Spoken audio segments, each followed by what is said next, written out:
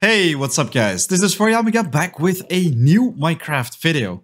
Many people requested me to build an Enderman XP farm. So in today's guide, I will show you guys a very easy to set up Enderman XP farm, which will get you to level 30 in no time. Of course, with this Enderman farm, you will also find tons and tons of Ender Pearls. And the cool thing is, unlike most Enderman XP farms, this one is actually very material friendly and most importantly, very safe to build in survival. By the way, I'm currently running Java 1.16.4. It also works for the current Bedrock edition and will update the title for future versions. Also, a big thanks to Chapman. I found a very awesome idea on his channel to make this farm even more efficient. So if you like this video, definitely make sure to check out his channel. Alright, so guys, that's it for the intro. Let's build that XP farm. So the very basic materials that you're going to need for this build, the essentials pretty much are nine slabs, six types of leaves, then also three solid blocks. Really doesn't matter which ones you take. Also a name tag, a rail, and a minecart for the endermites. Then also six trapdoors. By the way, if you're playing on Bedrock, you're gonna need six buttons instead. So definitely make sure to write that down. Also a chest, six hoppers, one weather bucket, four torches or less even, and then also 42 ladders. So you will be able to get back up to the surface without a problem. And of course, to spawn in the endermite, we're gonna need quite some of these as well. When we're done with the basics of this build, we're also gonna do some upgrades to make it even more efficient. For that, we're gonna need four more mine carts, four more name tags, also some more solid blocks. Uh, these two are actually optional as well as the torches. I think we even need less, but um, that is pretty much everything everything you need, guys. What you're gonna do is search for the center of this island. You can, of course, also go to another end island, but really, I really don't think that is necessary because you will already find many Endermen on this place. So what we're gonna do is stand near the portal if you press F3 or just open up your coordinates, you can see that it is already on a pretty high Y level. And this is also the thickest area in the island. So you will have a chance of making a drop shaft that takes almost all the lives away from the Enderman. So you can pretty much take them down in only one hit. So right now we're just gonna walk away a couple blocks away from the end portal. Let's say uh, this is a good place. You just don't want to stand too close because otherwise the water of your farm will flow in there. And uh, we're going to place down three solid blocks and then three times leaves. And um, actually right now we want to use a block that I forgot to take with me, which uh, are these spruce planks.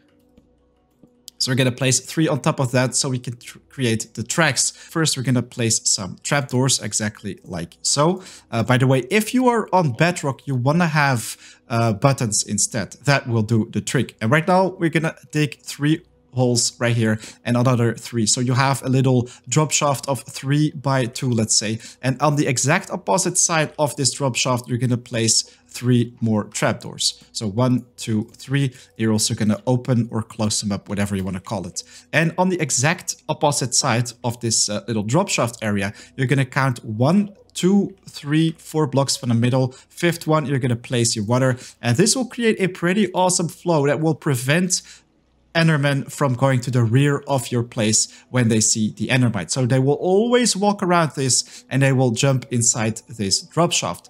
But now, of course, it is time to place our Endermite. So what we're going to do is place some temporary blocks. We will remove these later on.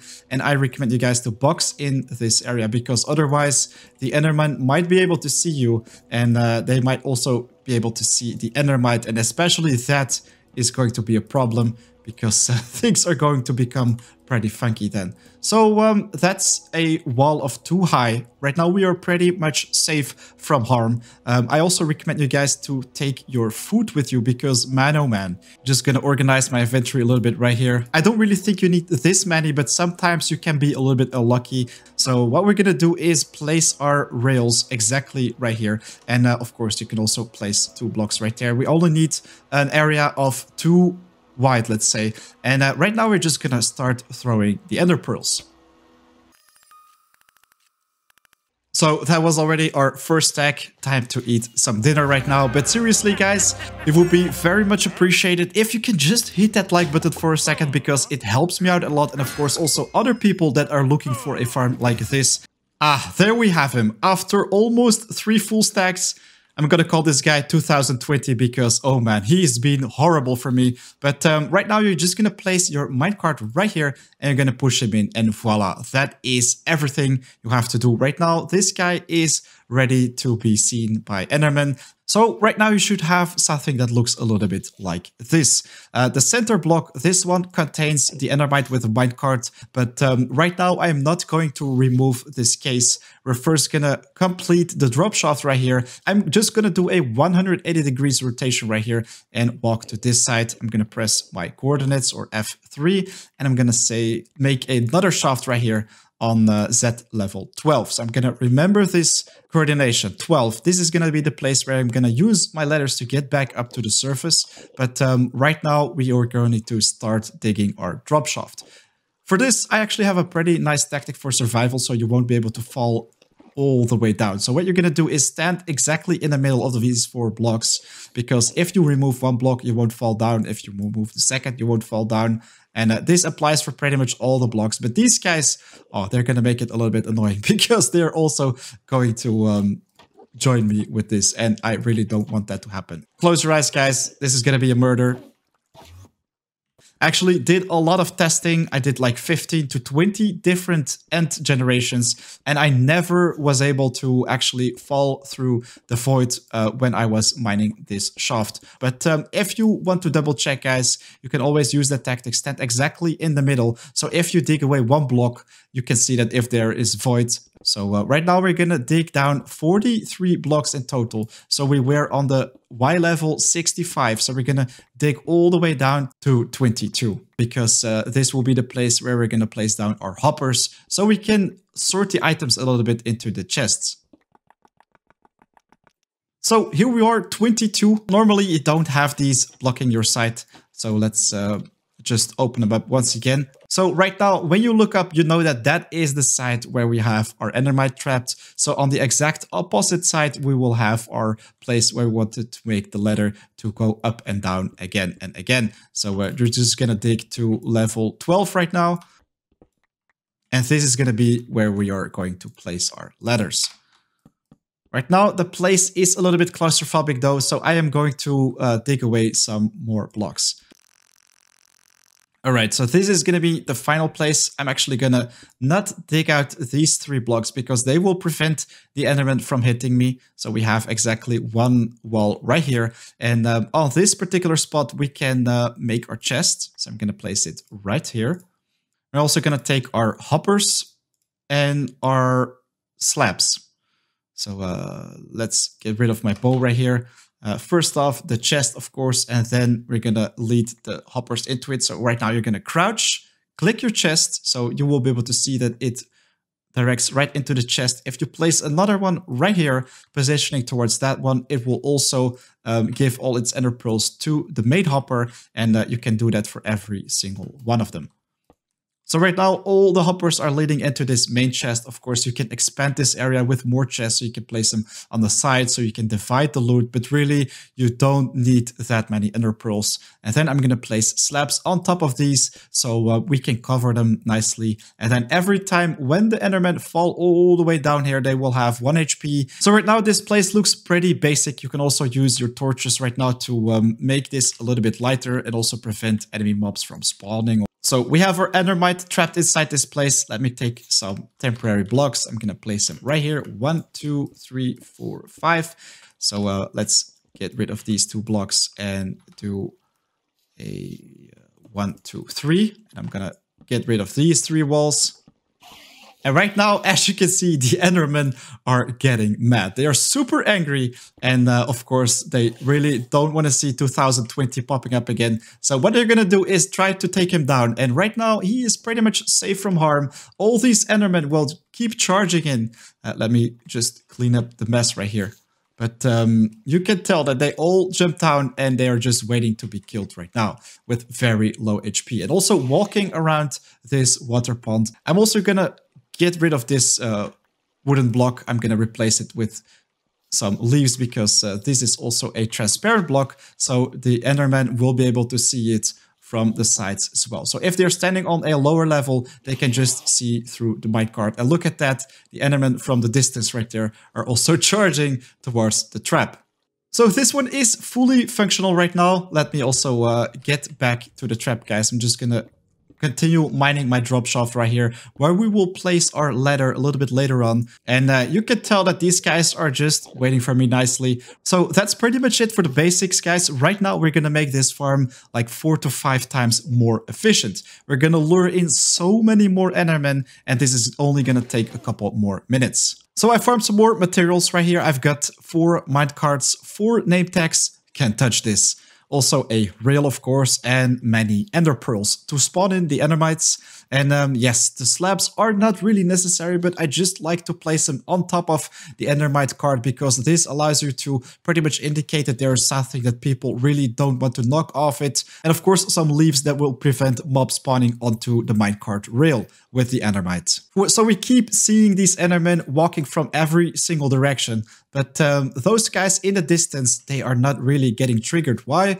Well, because this has a texture radius of 64. So the Endermen are currently just too far away to actually see the Endermite. So uh, it would be wise to put even more of those Endermite lures at every corner of this island. So we're going to place one right there, let's say, one right there, and then we're going to place one around those parts, and then right below me. So um, this farm will become a lot more efficient. So right now I'm going to set my very first trap right here.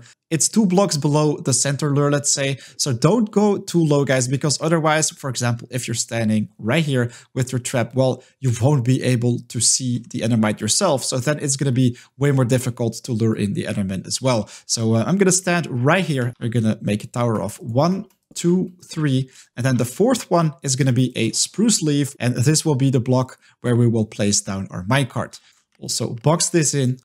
And right now we can place down the mine cart and the rail, or well, first rail, of course, spawn in the endermite. All right, there we have him. Can't touch this. And the mine cart, and we have to just push it a little bit towards him. Come on. There we go. Right now he is settled. We're gonna place one block right there so I'll be able to put my slab down a little bit easier. And now we're going to break every single wall so the Endermen are going to see this guy and they're going to go crazy. Look at that. This guy is getting triggered and right after that he is walking towards this trap. Can't touch this.